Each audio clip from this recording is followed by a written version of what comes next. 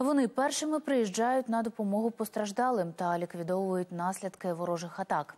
Мова про рятувальників. Ця професія потребує від людини не лише фізичної, а й психологічної підготовки.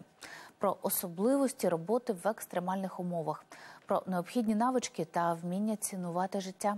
Двоє рятувальників з Кропивницького розповіли наші кореспонденці Олені Бринзі. Мене звати Орлов Владислав, мені 28 років. Я начальник караулу. Е, В службі порятунку я 11 років. Бойовий одяг складається з штанів та куртки. Е, Пожежне спорядження складається з е, ременю, карабіну та пожежної сокири та пожежної каски.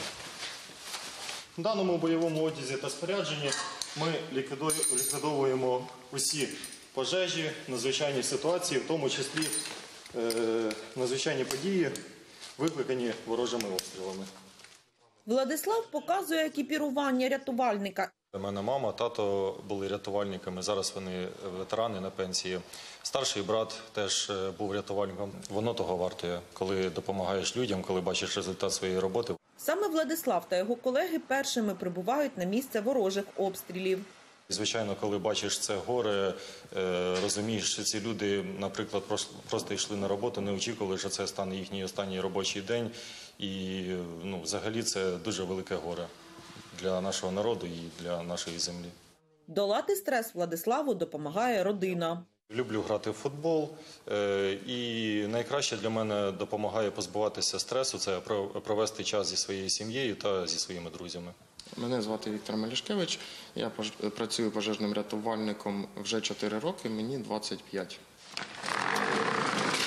В цьому відсіку у нас знаходяться рукави 51 та 77 діаметру, також ГПС, це ствол для подачі піни.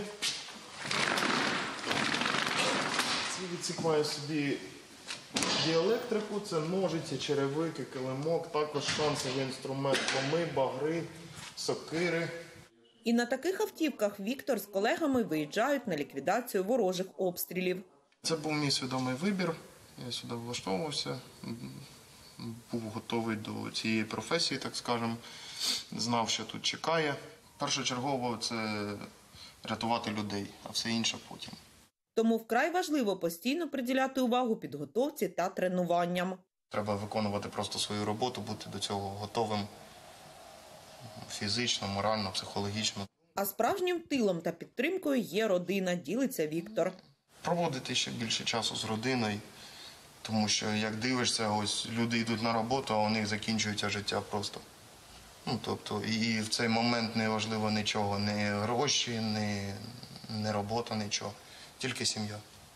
З Кропивницького Олена Бринза, Роман Круніч. Подробиці телеканал Інтермарафон. Єдині новини.